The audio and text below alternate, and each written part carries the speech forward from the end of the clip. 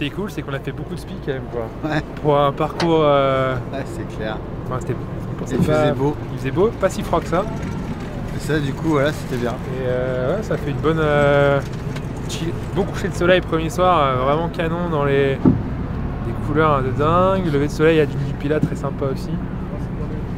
Non, Beaucoup de speed, bon, la vitesse, à part à la fin où c'était un peu plus mou. bah ouais, là on profitait. Enfin, c'était pas les vacances, mais on profitait bien de. Profitait bien de la course quoi. C'était vraiment un bon moment à vivre quoi. Et des bons moments quoi. Et ouais, c'était plutôt, euh, plutôt une course euh, sympa. euh, ouais. on, a, on a été un peu mouillé sur les bords de Spi, ça, il y avait de l'air, donc ça mouillait bien. C'était c'était un peu tonique, mais il y a eu des bons moments un peu bien, bien sympas. ouais.